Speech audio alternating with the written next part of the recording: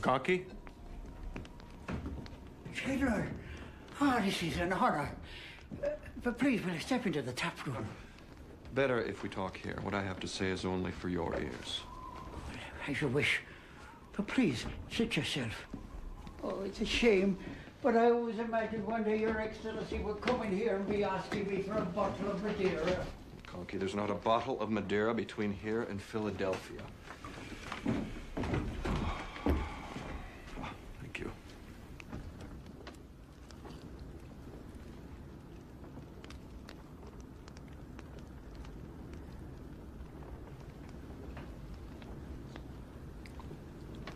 God be praised. It's a year since I've tasted such a Madeira. The bottle's yours. Drink with me. Oh, no, no. I wouldn't have a drop touch my lips. It's yours alone. Now, what would you have to talk with me about? I hear you have no love for our enemy. Love? Jesus Christ, I see the bastards in hell. And you can keep your mouth shut? Like a trap. Very well. I want this house tomorrow. All day. I want it for my headquarters. I'm going to cross the river tomorrow with 2,000 men and attack. You mean the bastards at Trenton? Yes, the bastards at Trenton. General, may I take you up on your kind offer? When you came in, General, did you not notice the ice on the river? Nothing to bother us. Not now, sir. But the Delaware is a strange and curious river. The frost comes and it pours forth into the northern valleys.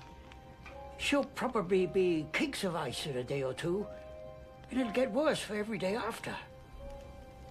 We cross tomorrow. Oh, for Christ's sake, General. Forgive the impertinence, but why not wait for spring? This is a cause I love. It's an army I love. I love it too, more than I can say. Then why not wait? Because if I do not cross tomorrow, there will be no army.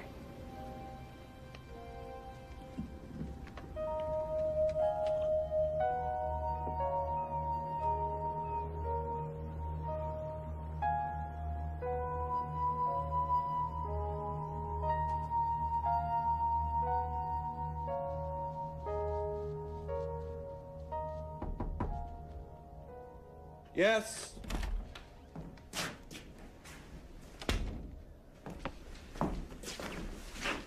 It's Christmas Day, sir. Merry Christmas. Thank you.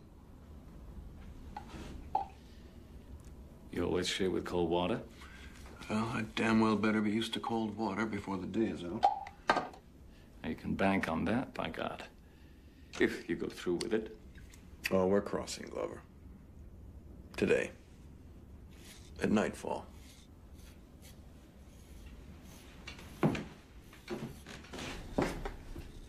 May I ask you a question, sir? If I said no, would it dissuade you? In this case, sir? No, it wouldn't. Well, then, by all means, Glover, what is it? Would you attack the Hessians in open daylight? Is a damn fool question. I have no intention of attacking in daylight. But would you? Glover, speak plainly, if you will. Very well. Let us say we push off the boats at half past five. Full darkness. That will give us six and a half hours for crossing. You plan to march to Trenton at midnight. A night march in this weather with men who will be wet, freezing, and already exhausted. If you can whip them and the guns along at two miles an hour, you can get to Trenton before dawn. We will do three miles an hour. Maybe I'm not saying you will, I'm not saying you won't. But there's ice in the river. And as God is my witness, there's no man on earth who can carry that army across in six hours. Or ten hours. So you will be coming to Trenton in daylight. Providing we can cross that damn river at all. That last you said. Son? Providing we can cross at all. Glover, Yes, sir. you have been a pain in my ass and a thorn in my side since the day we met. You'd be a general today if you hadn't burned the ass of every man on my staff. Well, being a general, it's more private soldiers we need, not more generals. True enough.